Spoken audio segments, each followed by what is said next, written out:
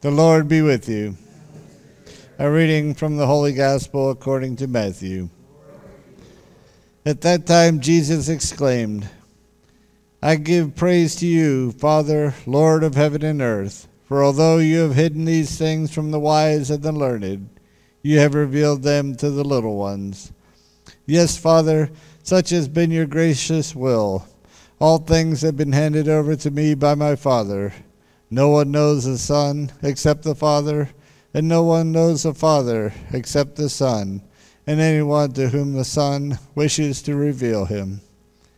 Come to me, all you who are labored and burdened, and I will give you rest. Take my yoke upon you and learn from me, for I am meek and humble of heart, and you will find rest for yourselves. For my yoke is easy and my burden is light.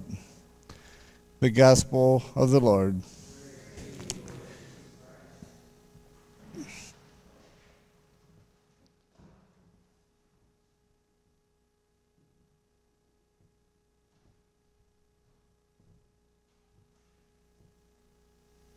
On this feast of the Most Sacred Heart of Jesus, we have in our first reading uh, kind of a summary of what our Lord did for the Old Testament uh, Jewish people. He gave them a wonderful set of provinces making up Israel, a land which they took over without having to plant a tree, put up a building, or uh, do anything for vineyards. They uh, took over the land by minimal conquest, and it was theirs uh, to enjoy.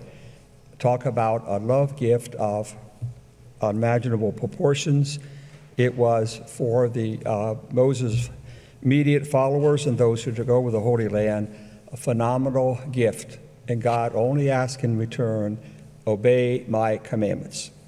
And that was done for several generations, but not always.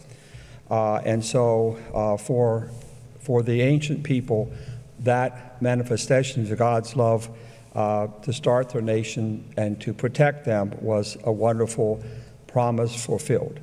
And today in our gospel, we have a wonderful sense uh, that Jesus is saying, I give you, Father, Lord of heaven and earth, uh, you have revealed all these good things to your little ones. Our Lord is reminding the New Testament people uh, that we continue to give praise to Almighty God and Father, uh, and even His wisdom and grace helps us to understand His graciousness, His tremendous gift of grace, but most of all, what He wants us to do. And uh, so our Lord is reminding them that He isn't talking on His own authority, He is talking on that of the Father. Uh, and so uh, the, the good news that Jesus brings from the Father is revealed to us, and we and others pass it on to others.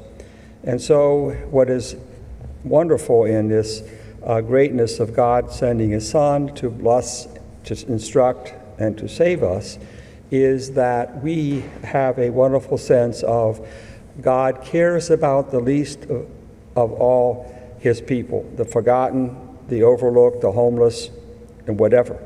Uh, and so, even those who may feel exhausted, I'm there to give you rest. Uh, and so, uh, in this kind of a wonderful sense of message, uh, God's commandments may seem uh, like a yoke, but for uh, the people of our Lord's time, they looked upon a yoke as a welcome uh, reminder. It wasn't so much a burden as it was a, a, a sense of teachings that we continue to be God's obedient and gracious people.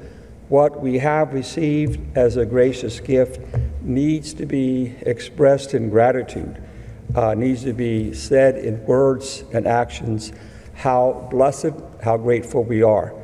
And feasts like today, the most sacred heart of Jesus, reminds us of that overflowing love of the heart of, of God, of that wonderful sense of not keeping wonderful things for himself, but meant to be shared among his people on earth.